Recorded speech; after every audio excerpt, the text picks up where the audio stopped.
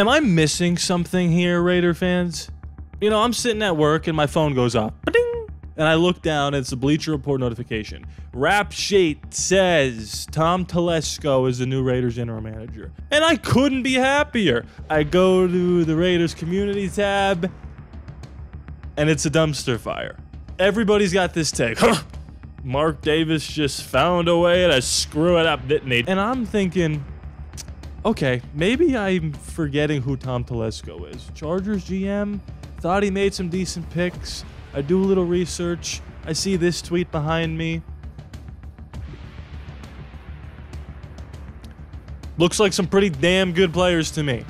I've seen this take not from the majority of Raider fans. Most Raider fans seem to have a brain in their skull and know that Tom Telesco is a 10 year GM that was just fired from a Chargers team because the roster, which is damn good, underperformed under some pretty bad coaches. Now, don't get me wrong.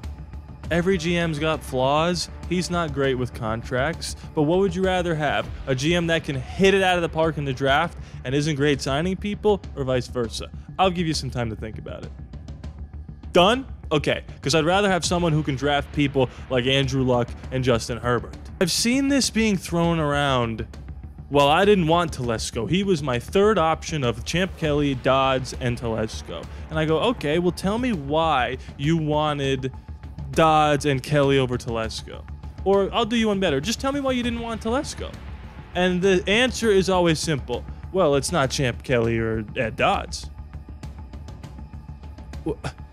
My brain is going to explode. The reason people are upset that Tom Telesco is our GM is because it's not Ed Dodds or Champ Kelly, two people who have never made a single draft pick or free agent signing in their entire lives. And before you go to the comments and say, well, uh, Champ Kelly signed Jack Jones. No, he didn't. His high school coach signed Jack Jones. The guy who knew Jack Jones got Jack Jones to be on the roster, not Champ Kelly. And my whole thing with Champ Kelly and Ed Dodds was this they seem to be qualified to be general managers in the league. Sure, I'll give you that. But you know what they've never done? Actually be a general manager. And of the three options that were posed to us, Telesco, Kelly, and Dodds, who was the one guy who's got definitive proof that he knows what he's doing? So now what? You think the locker room is going to explode because they signed Antonio Pierce but didn't sign Champ Kelly? Look, I'm telling you right now. Go watch the Maxx Crosby tape. He goes, "Listen, I want Antonio Pierce back. Uh, you could trade me, and also Champ Kelly too. Yeah, bring him. Uh, listen, Champ Kelly seemed like a nice guy, and I'm sure he could be a great GM one day. But he was brought over with the Josh McDaniels regime. Like, are we just gonna pretend like because he became the interim GM that he wasn't a part of the whole McDaniels thing? Now, listen, McDaniels had final say on that whole roster, and Ziegler wanted Stroud, and maybe, you know, by proxy, Champ Kelly also wanted Stroud. Maybe that is the case. And Ed Dodds, from all things that I've heard from people that are pretty close to him, is that he is like, you want to talk about born to be a Raider? He is a Raider fan, like to the day he dies, young kid Raider fan looked Mark Davis in the eye and said, I want to be the guy to change this thing. And I think it was really tough for Mark Davis to make the right decision here. He gave you Antonio Pierce. And I'm saying I'm not saying that he was like, well, I, will give you Antonio Pierce if I get to hire the right guy for the GM position. Antonio Pierce was the right guy, in my opinion, to be the head coach for the Las Vegas Raiders. But Tom Telesco has already been a general manager. Mark Davis did not want to go rookie head coach, rookie GM. He didn't want to go interim interim. And the roster is very important. If we're going to trade up for a quarterback, don't you want a guy who had a hand in the Andrew Luck selection and personally said, I want Justin Herbert instead of Tua or Burrow? Like, what, what are we talking about? This guy knows what he's doing. And I didn't want to come in here and be super angry about it. But it seems as though people are like, I don't want Telesco. Why don't you want Telesco? Well, because I want a Ch- Champ Kelly and Ed Dodds. Well, what's bad about Telesco? Well, they're not the other two. What? I can acknowledge that Telesco isn't great with contracts. But you know what I can also acknowledge? He was fired because his coaches were terrible. Now, did he have a hand in finding those coaches? Yes. I think that's the issue with Tom Telesco. He could never find the right coach to fill in the position to make his roster work. Also, the owner had a lot to do with that. They don't have a lot of money in LA. We know what it's like to not have a lot of money either.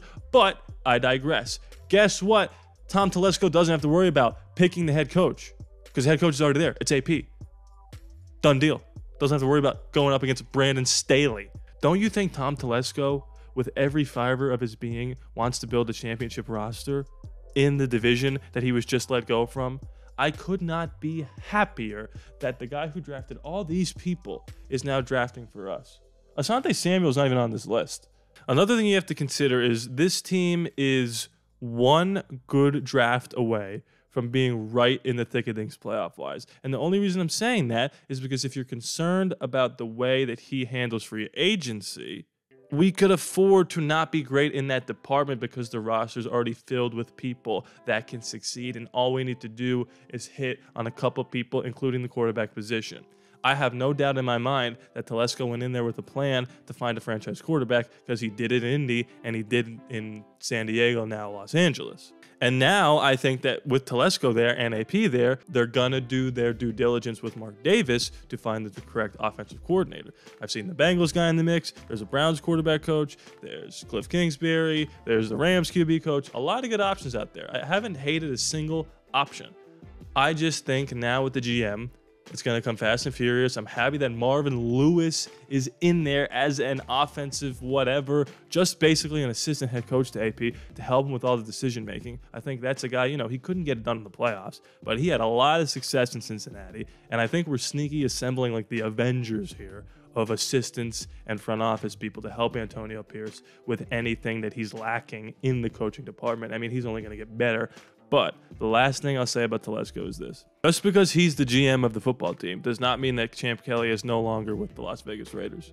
There has not been an announcement that he's been let go. Thank you for your service as the interim. He might have stayed on as the assistant general manager, which is why this was taking such a long time to happen. And I was the one banging the drum for the Dodds Kelly combination. The only reason I wasn't banging the drum for the Telesco Kelly combination is because I didn't think we'd have a legitimate shot to get Tom Telesco.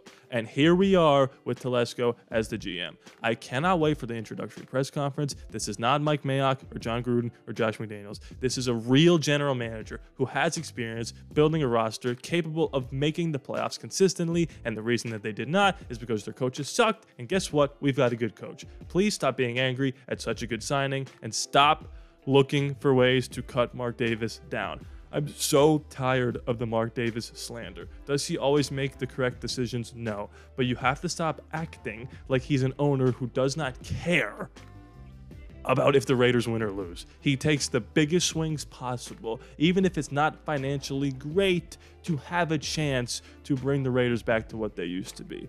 So if I hear any Mark Davis slander in the comments, I'll leave him there because I don't censor opinions but I'm going to come back at you with the fury of a thousand suns. With that being said, I'd like for you to subscribe. leave likes, leave comments, join the Patreon over there. Guys, it's literally $1 to join the Discord where we can just talk about this stuff all the time. Like, it's a dollar. You don't have a dollar Big Mac? And if you like other stuff there, like seeing videos early, get your name at the end of the credits, executive producer, Madden subscriber, like all this nonsense. The Madden videos, the franchise mode is starting soon. They're going to be coming out once or twice a week, but you know, I, I play them all in succession, so they'll all be up there on Patreon. They'll come out once or twice a week on YouTube, but on Patreon they're going to be up fast and furious. Please be sure to subscribe. We're so close to 5,000. It is free after all, no charge to you. I love you guys. I'll see you next time. Time to let's go. Let's get it.